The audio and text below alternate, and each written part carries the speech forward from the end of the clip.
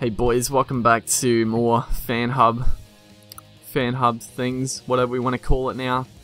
And we're up to the Raiders. We've done the Broncos, we've done the Bulldogs, and I've noticed something, I really drag on with these videos, so I'm sorry if people don't like that. There's not much I can do. I like talking, honestly. You know, I can really dwell on things, so that's just what's gonna happen.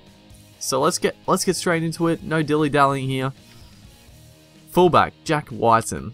Jack Wighton, you know, he's a I think he's a really good player. You know, I think 81's pretty fair because again, he's a he's a fairly new player. But I think he's shown enough to warrant that 81 ranking. Um but yeah, I think he'll only improve. He's been very good for the Raiders this year. So let's move on. Sisa Waqa. And 81, I think, you know, it's hard to tell with wingers, but I think that's probably about right. Maybe a bit low because I know for the, you know, I don't get to see many Raiders games, but for the Storm, he was, he was very good, you know. He finished off some really excellent tries, and he was just solid, you know. He was one of those big wingers who made a lot of ground out of dummy half, out of their end. And so yeah, I'd say he's 81. You know, he's not a game changer, but he's solid, and he can do some. He can. He's done some pretty freakish things. So 81, I'd agree with. Jarrod Croker, 83. Now, this is probably another player that I never thought was that good to start with, but but I probably changed my mind over the last year or two because the odd game I've seen of Raiders, Croker's Croker always seems to do something something good, you know? His defense is usually pretty good, and he just, he, I don't know, he seems to have a bit more speed. He has some pretty, he's got a bit of agility, a bit more than you would think, and he seems to make some, make a few breaks, you know? So 83, I'd probably, I'd probably move that up a bit. I mean, he's a goal kicker as well. I would say he's mid to high 80s.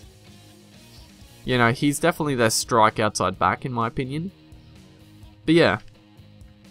Then we move on to Jared Kennedy. Okay, so I really have no idea about Jared Kennedy. So we're just going to move on and say 74 is a pretty good rating. then we got Edrick Lee, so this is another one of those guys that the commentators love, you know, tall black winger. they love tall black wingers, but so do I because they're he's quick, he's strong, he gets some he scored some pretty amazing tries. I think 81 is pretty fair because you know, you hear the odd thing where Edrick Lee is, has done this amazing game, but other than that, you don't hear much about him. So I think I think he's a bit inconsistent, but he can also do some freakish things. So 81's probably pretty pretty right for him. 5'8", Blake Austin. Now, Blake Austin, probably another one like Jarrod Croker I never thought was that good a player, but this year, this year especially, he's been arguably their best player. And, you know, he's he's been really good for the Raiders at 5'8". So, 84, probably about right.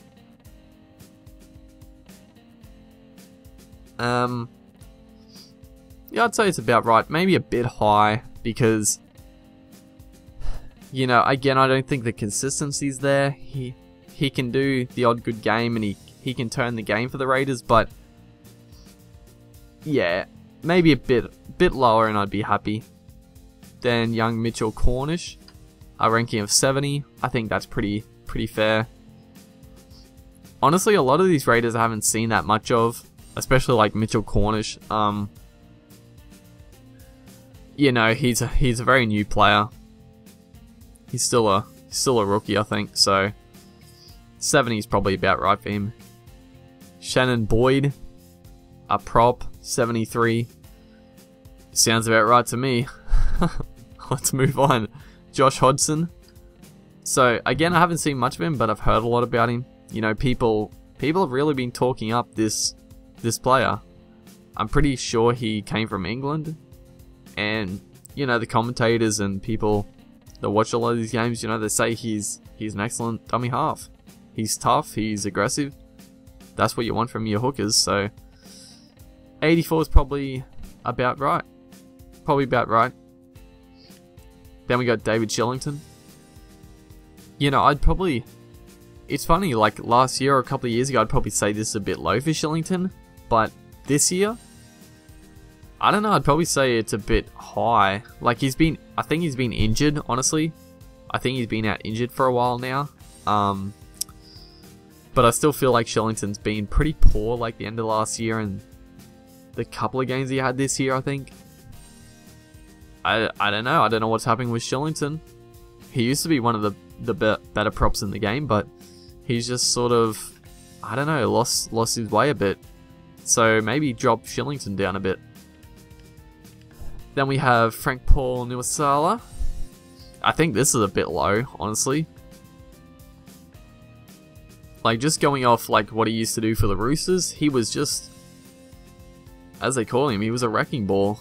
Um, he was a great hole runner. He was aggressive, a good defender, you know, you saw the you saw the odd game for the Roosters, and Frank Paul would just he would just be on fire for the Roosters. Like he would be easily their best forward. So I feel like 78's a bit low. I don't know if he's I don't know if he's dropped form since going to the Raiders, but going off from what he did with the Roosters, I feel like it's a bit low. I think mid low to mid 80s is probably about right. Then we go on to Iosia Soliola. Now this fella's a bit a bit of an interesting one. So, pretty sure he used to play for Roosters a few years ago. Um, he was. Yeah, he. I think so. Wait. I think I'm thinking of Setaimata Sa, but I think Soliola's the same. That he used to play for Roosters, and then he went to one of the Super League teams. Uh, but I do remember Soliola. Actually, Soliola was the one who got knocked knocked the fuck out by Ruben Wiki, wasn't he? I'm sure that was Soliola, but yeah, that was a while ago. Ruben Wiki just cleaned him up. that was crazy.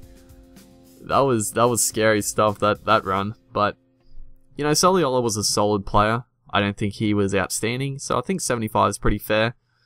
And if he is who I like, if he did go to Super League like I think he did, he must have. I don't know where he's been the last few years. He must have gone to Super League. So, usually when players come back from Super League, they, they lose a bit of fitness. They lose a bit of ability. Not saying Super League is terrible, but the, the standards is a bit lower. Then we move into uh, Shaun Fensom, 80. I think that's about fair, you know. He's one of those locks that just gets in and tackles. He's he's a Dallas Johnson type player. I think Johnson was a bit better, but Shaun Fensom, you know, he's a tackling machine, but he doesn't offer too much in attack, so 80 is probably fair. And now the bench. The bench. Ah, how am I going to rate this? So Jack Ahearn, let's say 66 is good. I don't know. Haven't really seen much of him, haven't really heard much of him, so obviously he's not that amazing. Glenn Buttriss, Uh, I don't know. I feel like Glenn Buttriss was like really good for them. But now they got Josh Hodgson, and I don't know if Glenn Buttriss is getting much game time. But I know Buttriss was like one of their better players for a few years, so probably 85 is a bit high still though. I mean, if he's not starting for the Raiders, I feel like 85 is a bit high. And then we got Josh McCrone. You know, again, I just feel like McCrone had a lot of potential. You know, people talked him up the first couple of years, like the first year they saw him, but he's never really done anything to impress me. Um, yeah, he's just, he hasn't been that amazing. So 86 is way too high, in my opinion, way too high. And then Paul Vaughan, you know, I think, I definitely remember that run he did. I don't know who he was against, but he got this really good solo try.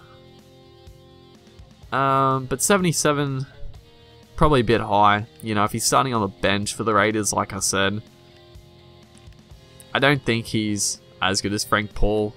So I think 77's a bit high. But yeah, that's the Raiders. Let's look at their jerseys. That's the home jersey. Alternate. And the heritage. I've always liked the I like the Raiders jerseys, but yeah, that's that's the Raiders done and dusted. And I'll see you boys in the next one.